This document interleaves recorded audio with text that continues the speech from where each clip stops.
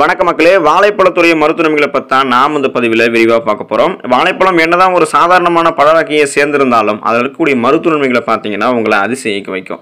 நீங்கள் தினமும் ஒரு வாழைப்பழத்தை தவறாமல் சாப்பிடலாம். அதன் மூலமாக உங்களுக்கு எந்த விதமான சைடு எஃபெக்ட்டும் இருக்காது. நிறைய மருத்துவ நன்மைகள் தான் இருக்கும். வாழைப்பழத்தில் இருக்கக்கூடிய விட்டமின் பி சிக்ஸ் ஆனது ட்ரிப்டோஃபானாக மாற்றப்படுது. ஸோ இந்த ட்ரிப்டோஃபான் உங்களுக்கு செரட்டோனாக வந்து மாற்றமடையுது. ஸோ இது உங்களுக்கு ஒரு விதமான ஸ்ட்ரெஸ் டென்ஷனை ரிலீஃப் பண்ணுது. ஸோ அமைதி குணத்தை உங்களுக்கு உங்களுக்கு தருது. ஸோ நம்ம பார்த்துருப்போம் அடிக்கடி வாழைப்பழம் சாப்பிட்டோம் நமக்கு செரிமான பிரச்சனைகள் வந்து எதுவுமே இருக்காது அப்படின்னு பார்த்துருப்போம். ஸோ அதை விடவும் இன்னும் நிறைய மருத்துவ நன்மைகள் வாழைப்பழத்தில் இருக்குது அதெல்லாம் என்னென்ன அப்படின்றத பற்றி ஒவ்வொன்றா தெரிஞ்சுக்குவோம். அதை பார்க்கறதுக்கு முன்னாடி இந்த வீடியோக்கு ஒரு லைக்கை கொடுத்துட்டு இந்த தகவலை உங்களுக்கு தெரிஞ்சவங்களுக்கும் ஷேர் பண்ணி விட்டுருங்க. இது அவங்களுக்கும் பயனுள்ளதாக இருக்கக்கூடிய ஒரு ஆரோக்கியமான பதிவு தான். இது போன்ற அப்டேட்ஸ்களை நீங்கள் தொடர்ந்து பார்க்கறதுக்கு நம்மளுடைய ஹெல்த் நியூஸ் தமிழ் சேனலை சப்ஸ்கிரைப் பண்ணி வச்சுக்கோங்க. பக்கத்தில் கூடிய பெல் பட்டனை கிளிக் பண்ணி ஆல் அப்படின்ற ஆப்ஷனையும் மறக்காமல் செட் பண்ணி வச்சுக்கிட்டீங்க அப்படின்னா நான் போடக்கூடிய எல்லா அப்டேட்ஸும் உங்களுக்கு நோட்டிஃபிகேஷன் அடிக்கடி வந்து சேரும். சரி வாங்க மக்களே இப்போ வீடியோக்குள்ளே போயிடலாம். நம்மளுடைய உடலில் இருக்கக்கூடிய ஹார்மோன் குறைபாடுகளை வாழைப்பழம் தான் நிவர்த்தி செய்யுது. வாழைப்பழத்தில் பொட்டாசியம் அதிக அளவில் இருக்கிறதால மூளையினுடைய திறனை வந்து வாழைப்பழம் அதிகரிக்குது. ஸோ நீங்கள் நல்ல மனநிலையில் உங்களை வைத்துக் கொள்வதற்கு வாழைப்பழம் துணை புரியும். நரம்புகளை சீராக வைத்துக் கொள்வதற்கும் வாழைப்பழம் துணை புரியும். பொட்டாசியம் என்ன பண்ணும் அப்படின்னா உங்களுக்கு இந்த ரத்த அழுத்தம்னு சொல்லுவோம் பார்த்தீங்களா பிளட் ப்ரெஷர் பிபின்னு சொல்லுவோம் பார்த்தீங்களா ஸோ அந்த பிரச்சனையை உங்களுக்கு குணப்படுத்தும். இதனால் இதயத்தையும் சீராக இயங்க வைக்கிறதால இதயம் சார்ந்த பிரச்சனைகள்லாம் வராமல் தடுக்கிறதுக்கு வாழைப்பழம் உங்களுக்கு உதவிகரமாக இருக்கும். நம்மளுடைய உடலில் சுரக்கக்கூடிய திரவத்தை சமநிலை தூய்மைப்படுத்தக்கூடியது இந்த வாழைப்பழம் தான் உடம்புல இருக்கக்கூடிய செல்களை தூய்மைப்படுத்துறதுக்கும் நல்ல ஊட்டச்சத்தோடு வைத்துக் கொள்வதற்கும் வாழைப்பழம் உதவிகரமாக இருக்கும்.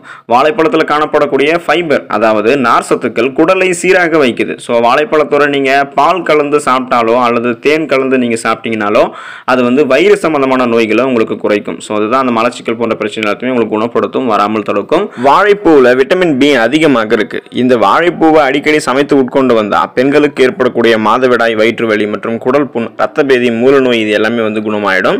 வாழைப்பழத்தில் vitamin A vitamin B vitamin B twelve C மற்றும் சுண்ணாம்பு சத்து இது எல்லாமே இருக்குது உணவை எளிதில் ஜீரணிக்க செய்யக்கூடிய வாழைப்பழம் பித்தத்தை நீக்கக்கூடியதாகவும் இருக்குது மேலும் உடலில் ரத்தத்தை அதிகரிக்கக்கூடியதாகவும் வாழைப்பழம் உங்களுக்கு வந்து இருக்குது ஸோ அடிக்கடி வாழைப்பழம் சாப்பிடுபவர்களுக்கு குடல் புண் வந்து பார்த்தீங்கன்னா வராது. அந்த குடல் புண் இருந்தாலும் உங்களுக்கு ஆறிடும்.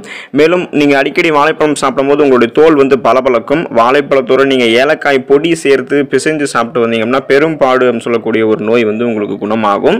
வாழைப்பழத்தோட நீங்கள் சீரகம் சேர்த்து சாப்பிட்டு வந்தீங்கன்னா ரத்தம் மூலம் உங்களுக்கு குணமாகும். வாழைப்பழத்தை அடிக்கடி சாப்பிடுவது அறிவை வந்து விரிவடைய செய்யும். உங்களுடைய மூளையை வந்து பார்த்தீங்கன்னா சிறப்பாக செயல்பட வைக்கும்.